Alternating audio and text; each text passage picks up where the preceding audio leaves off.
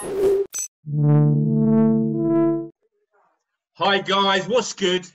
If you're using Vimeo to host your online course videos for LearnDash, then you're going to need to know the uh, settings to make sure your videos are as secure as possible. So let's jump into a screen share and I'm going to show you what you need to know.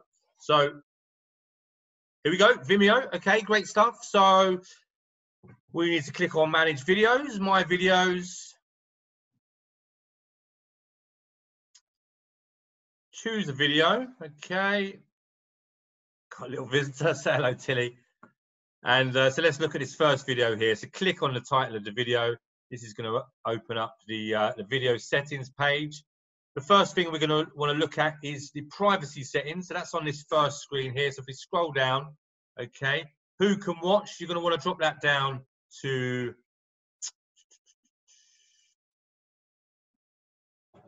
hide this video from vimeo.com. This is take it out of their archives. Where can this be embedded? You're going to want to set this to specific domains only. Okay, so you're going to enter your main into here. Then click the plus sign. You can obviously add multiple domains as you please. Who can comment? You're going to drop that down to no one. People can download this video. You're going to set that to no. People can add to collections. You're going to set that to no.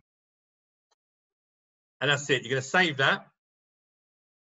And then we're going to look at the embed options, click on the embed options, and you can see on the embed options, uh, we've got all this screen icons on here, um, like, add to watch later, share, a link back to Vimeo, free links to the Vimeo user profile. We're going to want to remove all of that. So on this left-hand toolbar here, under actions, we're going to unselect like, we're going to unselect watch later, we're going to unselect share, we're going to unselect embed. We're going to scroll down. And in your details, this is this section here. By default, it's on let users decide. We're going to decide that. So we're going to unselect profile picture. We're going to unselect title. We're going to unselect, unselect, deselect, deselect, I think. hey ho. Um, byline. And then we're going to scroll back up and we're actually going to set a preset, create a preset. So if we click on create preset, give it a title, no links or something like that. Click on create preset. We've got a new preset there. And we're going to click on save. You can now use that to apply to all of your videos as you upload them. And uh, yeah, that's it. That is what we need to do. So very quickly, go to another video. Uh, uh, uh, this folder here. click on the video title, go through all of the privacy again. Okay, so hide from Vimeo, specific domains only can embed, enter your domain.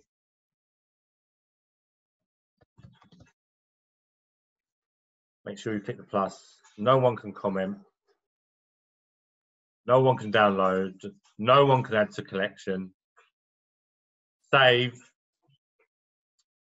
go to the embed part, the embed section, choose your preset, okay? That's gonna switch everything off, click on save, and that's it. It's as simple as that, guys. So um, this is Vimeo. Obviously, you can. This is you know settings for anywhere, but in particular for LearnDash um, to make your videos as secure as possible. And you need at least the Vimeo Pro account, okay, which is sixteen pounds a month, and it's um, payable annually. Uh, but that's it. That's what you need to do. You know, obviously your course content, you don't want it out there. You don't want it being shared and copied by all and sundry. You want to protect it as much as you can. And whilst we can't entirely protect it, obviously people can use screen recorders, video recorders, whatever to, to get your content. You want to make it as difficult as possible, really. And that's the way to do it. So thank you guys. If this video has been of any use, any value to you, um, please please hit the like button please hit the subscribe button please drop me a comment and uh, yeah be sure to stay tuned in i'm going to be dropping loads more videos over the coming weeks so have a great day guys thank you